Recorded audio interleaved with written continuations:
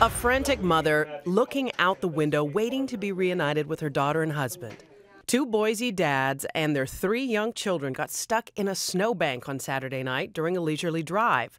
Search teams fanning out to find those families, their loved ones back home fearing the worst. Everyone on the, in the street, on the street, kind of pitched in, jumped in their vehicles, and just immediately went out to search for them. The pair of dads and children forced to hike for hours in the snow, a total of 19 miles, until they stumbled upon a cabin where they called their families. Oh my gosh, I was like, with three kids, that's crazy. So that, that's just a monumental task. What do you think your first words will be when you see him? I am so mad at you, but I love you. Yeah, that's the thing. I'm so mad at you, but I love you. And what we're told from police, everybody is okay, just tired. I'm sure there were some very tense moments out there for both the families waiting at home and for the, the men with all those kids.